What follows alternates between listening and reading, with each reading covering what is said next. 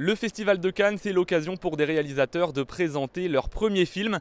Cette année, Marie-Ange Casalta est venue présenter son premier court-métrage, The Last Dinner, un film avec notamment François-Xavier de Maison.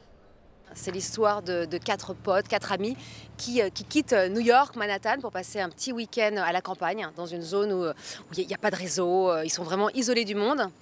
Et durant une partie de Scrabble, ils font un pari sur l'existence d'un mot, Ezopia. Est-ce que ça existe vraiment? Ils parient 500 dollars. Et celui qui est certain que ça n'existe pas décide de sortir jusqu'à ce qu'il ait du réseau pour chercher sur Google si le mot existe vraiment. Et là, qu'est-ce qu'il apprend? Il apprend que c'est la fin du monde dans 20 minutes. Il va y avoir une attaque nucléaire sur toute la côte est des États-Unis. Et il retourne dans la maison et il se dit est-ce que je leur dis ou est-ce que je ne leur dis pas? Voilà, j'ai 20 minutes avec mes meilleurs amis. Est-ce que je leur dis? Ça pose une vraie question existentielle. Et pour tourner ce film dont l'action se passe aux États-Unis, dans le Connecticut, Marie-Ange Casalta a trouvé l'endroit parfait dans les Yvelines pour tourner ce film, on s'est vraiment pris la tête sur le lieu du décor. Vraiment, on a visité des tonnes de maisons. Il fallait que ça fasse américain, qu'on y croit vraiment, qu'on soit dans le Connecticut. ok? Il fallait aussi qu'on ait aucune habitation autour, puisqu'ils sont coupés du monde, ils sont au milieu de nulle part.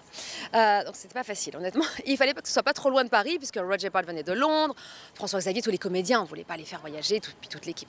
Donc on a trouvé cette maison incroyable qui se trouve à Marais-Marly, qui s'appelle la Canopée. C'est en fait c'est une sorte de gîte où ils font euh, beaucoup de yoga, beaucoup de choses comme ça. C'est du monde, c'est dans la forêt, c'est un lieu vraiment magique avec une âme, vraiment, et la propriétaire était, formidable. Elle nous a dit ça me, fait tellement plaisir que vous tourniez ce film ici. Je veux que ce lieu vive, qu'il vive plein, d'expériences différentes. Donc euh, on était tous très heureux. On a tourné là sur deux jours euh, au mois de janvier. Euh, une grosse partie du film se, tourne à l'extérieur, se passe à l'extérieur. On a eu extrêmement froid. Je pense que j'ai eu le plus froid de toute ma vie. on a tous dit qu'on avait mis une semaine à ne plus avoir froid après, je te jure, c'était tellement horrible.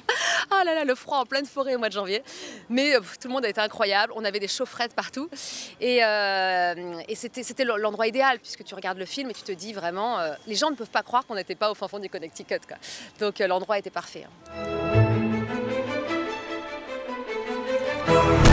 The Last Dinner de Marie-Ange Casalta, un film que les festivaliers ont pu découvrir cette année à Cannes.